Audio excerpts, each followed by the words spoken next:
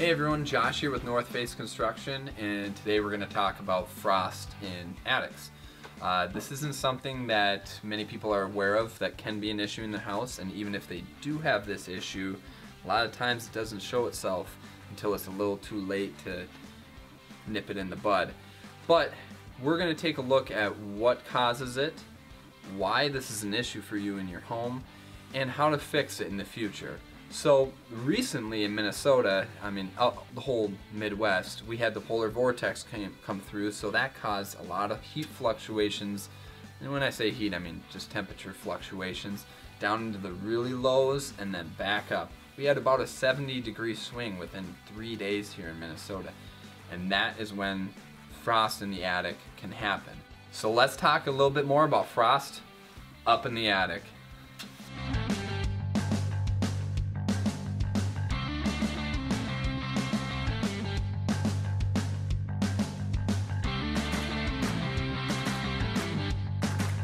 All right, now that we're up in this attic, uh, we're able to assess and see what's going on.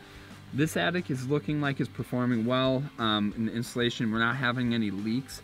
So that's the main reason why you would have frost in your attic.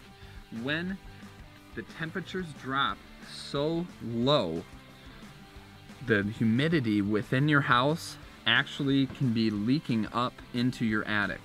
Insulation doesn't stop the humidity from coming through, it stops the heat. Before building codes were enacted that required foam sealing or of bypasses such as lights, uh, ductwork, pipes like over there, that's where most of your humidity from within the house could actually leak up into the attic.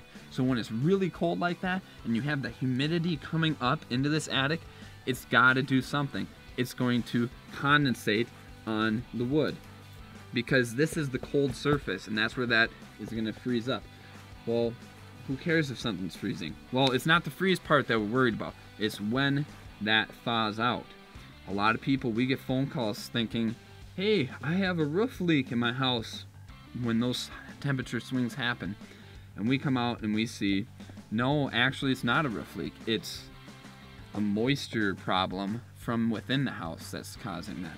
And it melts and goes into the house and can cause lots of damage on drywall, paint, furniture, personal items, all sorts of things. So to sum it up, don't run the humidifiers in the winter if you can help it. Uh, when you take a shower, make sure you let that fan run a little bit longer to get that humidity up and out of the house. Anything you can do that lowers the humidity in the house will help.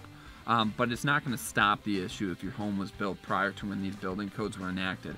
So how you solve this problem and stop it from happening again is by sealing the bypasses in the attic, whether that be just finding all of them and putting some foam around, boxing them off with approved um, approved boxes, and then or even removing all of this insulation out of the attic and replacing it with a potential spray foam, a cl uh, closed cell spray foam, that will actually seal it and insulate it all in one step.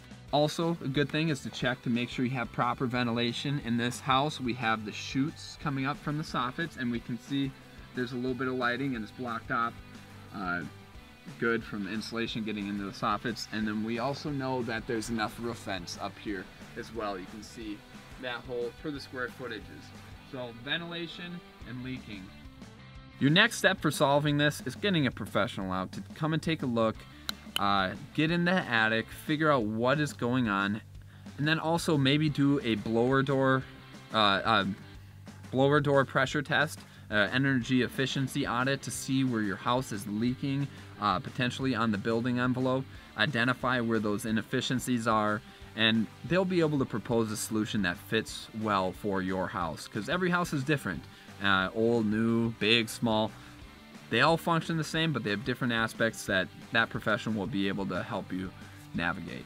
Thanks for uh, climbing on up here with me today you guys and i really hope that you learned something today and can help you in the future